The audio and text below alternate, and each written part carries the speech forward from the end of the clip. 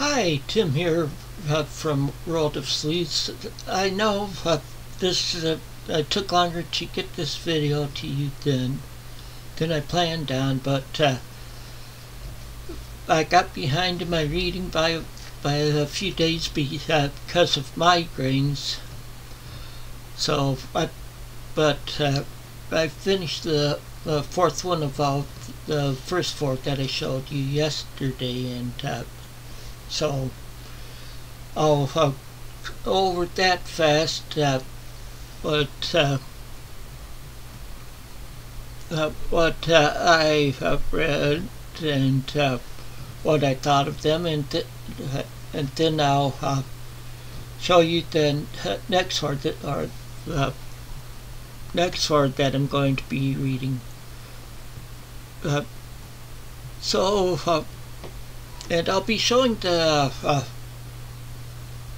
wait, wrong side. but right, right over here, I'll be showing the uh, showing pictures out about the covers. But see, these are all uh, e-books that I read them as, so I just got uh, copies, copied images off of uh, uh, off the internet. Uh, so, uh, so with that said, let me uh, start talking about the books. Okay. The first uh, book is uh, what I read was The Radio Detectives by A. Hyatt Verrill.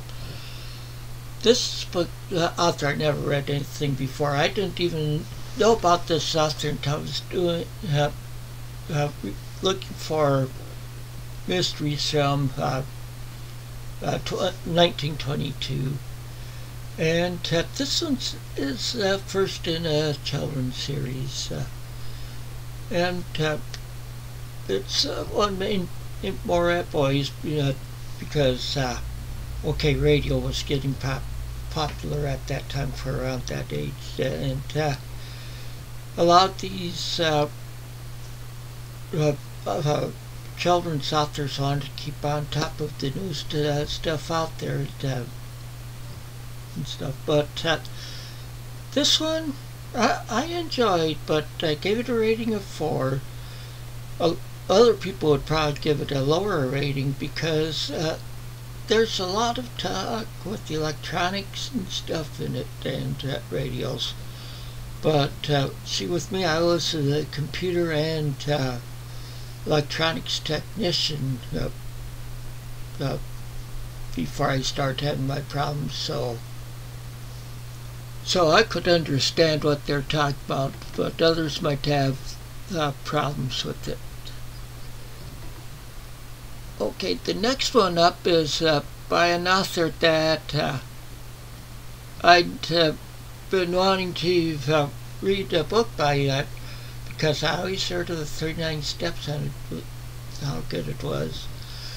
And uh, I still hadn't read it. I said, figured, okay, with this, I'll read another book by him for uh, for March Mystery Madness because I'm doing out from 1922.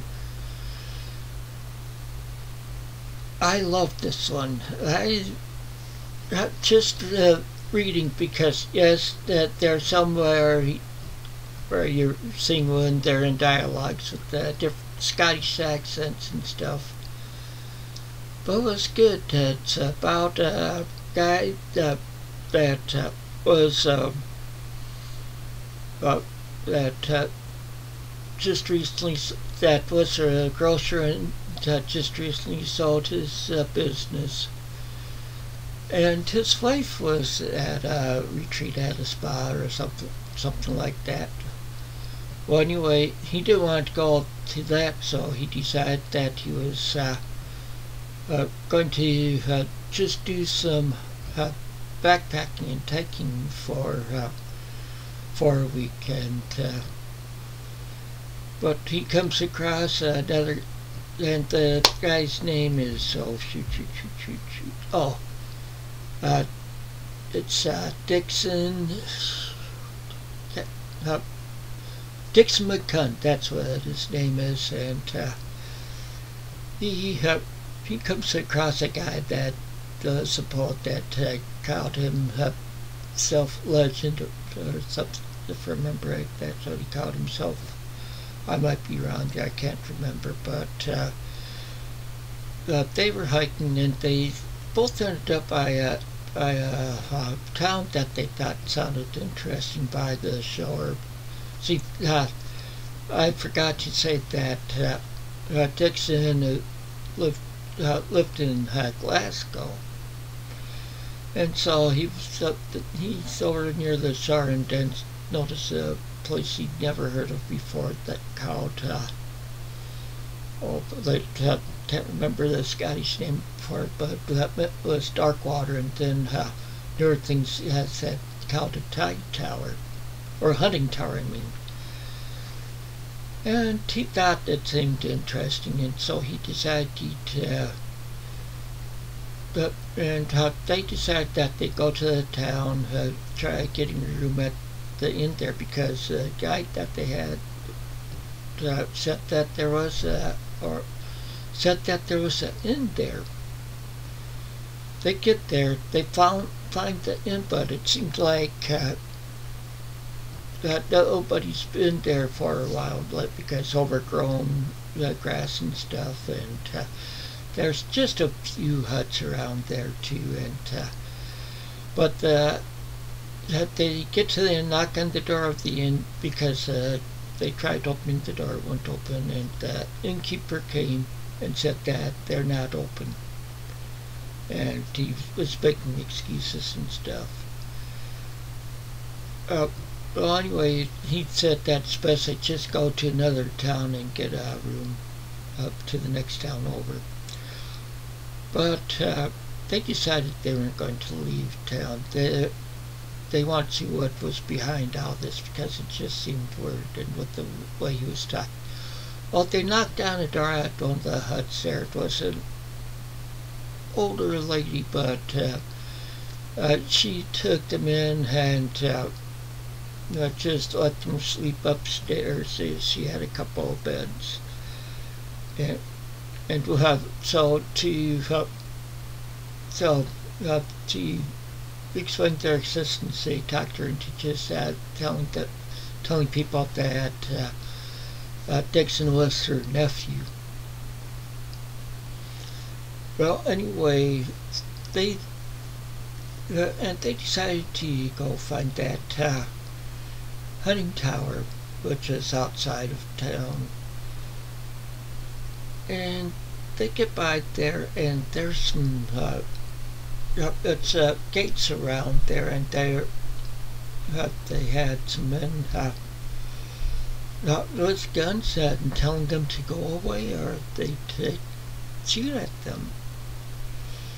Well, they started heading away, but they were going to go back to town, and they come across a boy that was uh, pretty much a leader of uh, uh, a Boy Scout troop for uh, street kids from uh, Glasgow, and they uh, and Dickson knew them some because they'd come to his store at times. Well, anyway, uh, uh, they were trying to find out the secret of the tower when they heard a lady singing, and the poet or what is it? legend or something like that. I can't remember, or Heritage. I can't remember what he said his name was. Might be Heritage. Said that uh, uh, said that had been talking about a lady that he saw uh, uh, at, during World War II in Italy. Yeah, like he heard her singing, and then when he heard that song, he said, hey, that's her. But, uh, so, but what it is, like, they, it's out she was keeping held hostage. So what it is, are those two men at the uh, Boy Scout troop, which uh, their ways are like the street ways that uh, always act very illegal, but uh, uh, uh, but then uh, and then the the old lady was in on it helping them out too, and uh, so uh, they take on uh, these uh, these guys where the, they're most of them are foreign and uh, like uh, they say Bolsheviks, uh, and it turns out that lady was a former uh, Russian princess before uh, before the uh, their uh, the or the communists took over the country and she to run, but the uh, but these guys uh, have her, a couple of the guys have her locked up until another guy could get there and take them away. It, but uh, but uh, I won't be telling you much more. But it's these uh, two men. One's an older guy, an old lady, and a Boy Scout troop against that these uh, known villains. And it's uh, it's just a fun story to read. And okay, the uh, the book next book after that uh, uh, is uh, The Angel of Terror. Uh, see, those first two books I read were new to me authors. Now I said each week I'd have two new to me and two uh, uh, two that I've read books by uh, before. Well, the next one was The Angel of Terror. Uh, well,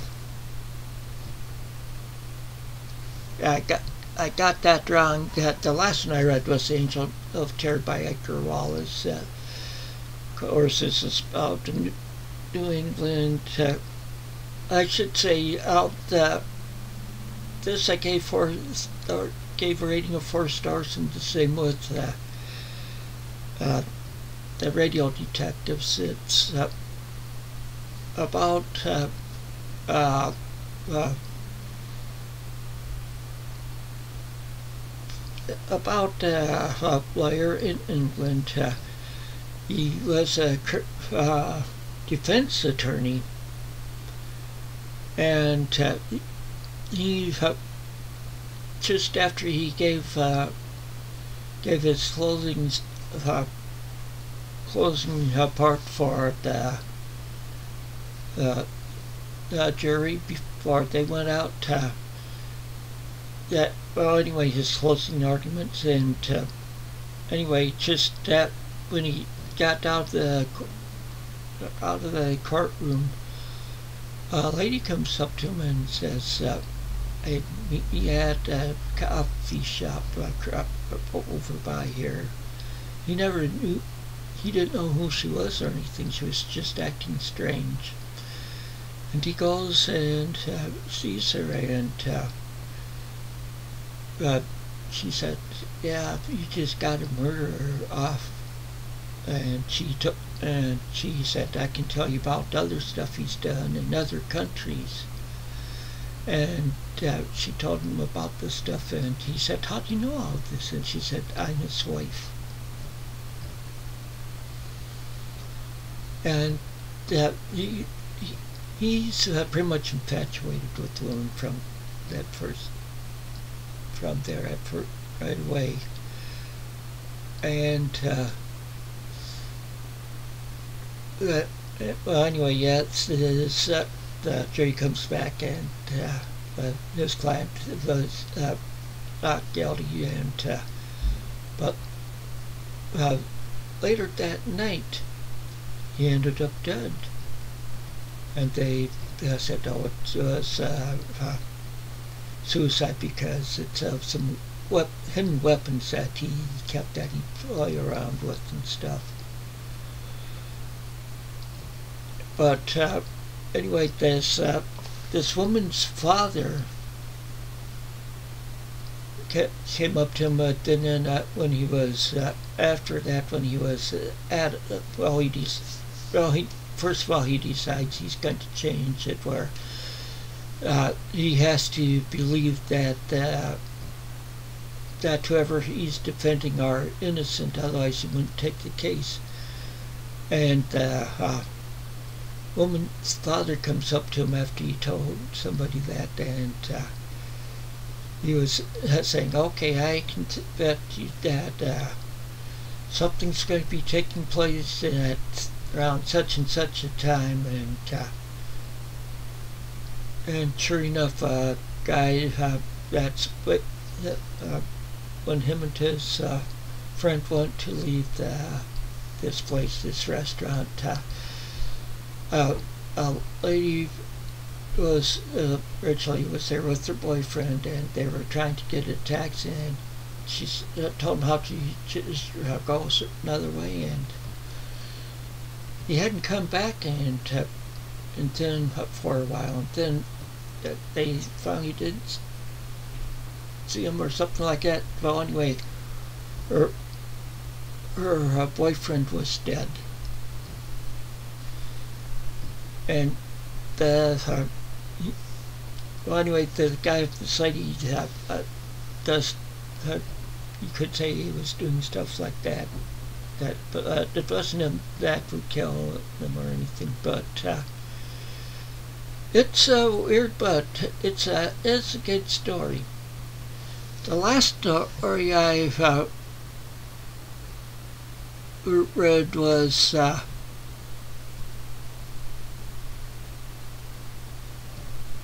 uh, just a minute, was uh, Evil Shepherd by, by E. Phillips Oppenheim. Oh, shoot. It, it was another interesting story. I can't remember. See, you're hearing some traffic right now going by, but uh, I now I'm having trouble remembering the story, and yet I did give it four stars. And with me, at times, I might forget stories, but then later on they'll be real strong in my mind and stuff. But yes, I would recommend this story too. I do like e- I I do like the E.L. Oppenheim's uh, uh, yeah, so uh, uh, he's he wrote, wrote quite a few also, but uh, I gave it a rating of five stars. And okay, and then the now to start with the with the net with the new uh, books. Uh, okay, I've had I read that book by the Radio Detectives by A. Hyatt Verrill. Uh, actually on that, yes, you see double letters in both his first name and last name. In his last name, there's uh, two double letters. But, uh, so, but, uh, well, anyway, the book is the second book in the series. See, it was also written in 1922. It's uh, Radio Detectives Under the Sea. Uh, I I did uh, start that yesterday after I finished that The Angel of Terror. And uh, it's pretty good so far. They're, uh, they're in a submarine in this one. This was back in 1922. And, and uh, actually, and the, uh, is uh, radio detectives are mainly two boys that they're best friends. That they're Frank Polly and uh, Frank. I can't remember Frank's last name, but uh, and uh, Tom's dad uh, works for the government and stuff. But uh, in the books they're help, helping doing helping the government out with stuff. and so that's the uh, first one of the uh, uh, read, uh, authors I've read before. And the other one that I've read by that that I've read well, by that author before is uh, E. Phillips Oppenheim. I just I showed that one and uh, it's a great Prince of Shan. I don't know anything about it. And so, and uh, Okay, now for the two, that, and you'll notice there's uh, two L's there and two P's, along with being from 1922. And, uh, okay, then the next one is the first one of uh, authors I haven't read before. This is a Huntress. No, there's two S's there. And uh, by Hobart uh, Footner. So there's a double O in the last name too. And you even see it's from 1922 there. I have, do not know what this book is about. I only know it's a mystery. And I haven't read anything about him before. Now, it looks like he's written a number of books too. And then the,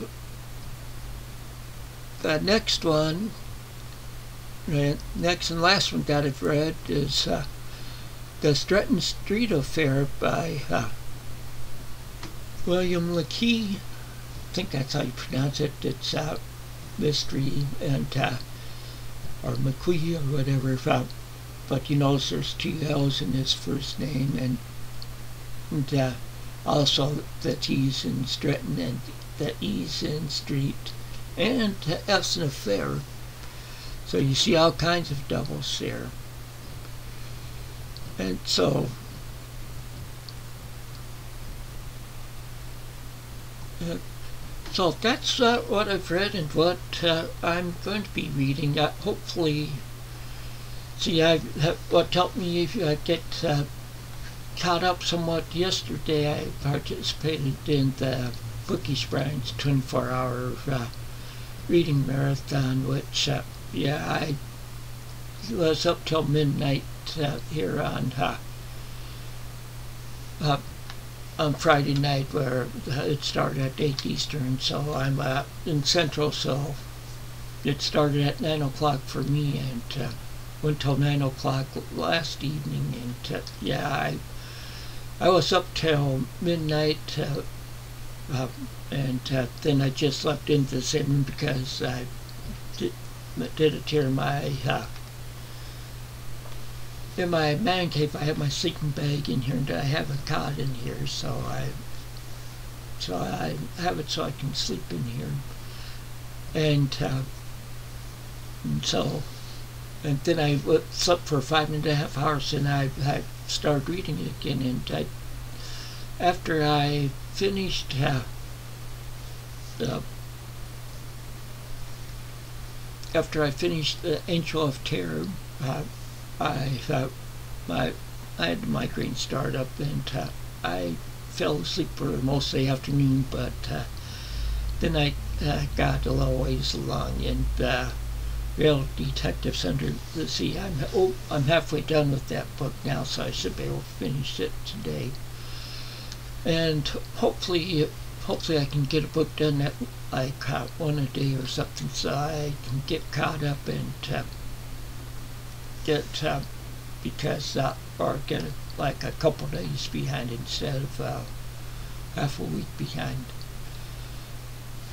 Uh, so I'll let you go now.